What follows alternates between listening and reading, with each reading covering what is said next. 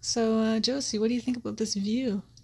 Well, you know, Megan, it's a it's a lovely view. You get a really good uh, wide angle of um, the driveway here, so we can really see the progress that they've made. You know, it uh, it looks like uh, uh, Cathy has uh, actually taken taken a, a bit of technique from your mother there with this. At first, she was doing those vertical strips, but it looks like she's moved to the horizontal technique. Yes, it's a lot more time saving, and you you end up clearing a lot more in a lot Yeah. shorter amount of time. It's Yeah. much easier, much more beneficial. Yeah, I feel like ever since she uh, adopted that new technique, they seem to be just flying. Mm-hmm.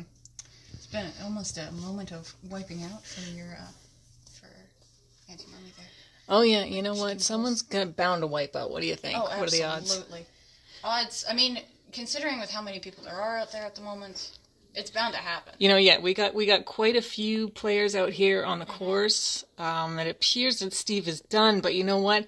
He might be in for a second round because he's been out there so long that his driveway's actually covered again. Yes, he has. You know what's great? Okay, you see neighbor across the street there.